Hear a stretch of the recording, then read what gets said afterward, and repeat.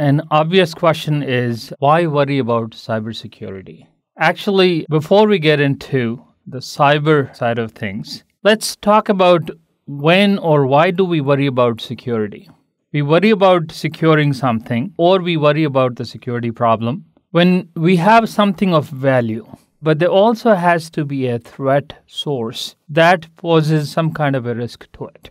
So clearly, you worry about security uh, when there's something of value and you perceive that there's risk that is posed to that thing uh, that is of value. So let's get back to cybersecurity now. So let's ask those same questions. Uh, what is of value in the context of cybersecurity? And where do the threats come from? What kind of risk are we talking about? Who is the source of the threat? In terms of what is of value, all of us store lot of sensitive data. If criminals, if they get their hands onto this sensitive data that we are talking about, of course they can monetize it and profit from it. And it is no exaggeration to say that uh, societies actually rely on the internet for really important things.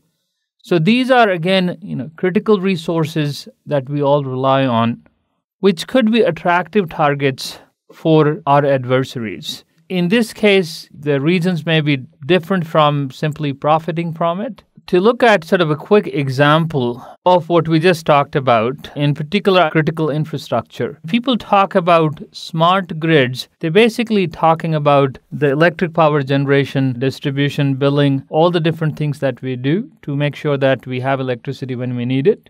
If their computer is controlling the smart grid, whoever sort of takes control of those computers is controlling a extremely important infrastructure on which the community relies. Obviously every business and government agency now use uh, computers and networks to carry out what they're supposed to do their daily activities. But what happens if hackers or adversaries or unauthorized parties gain access to it so it's an easy argument to make that cybersecurity is extremely important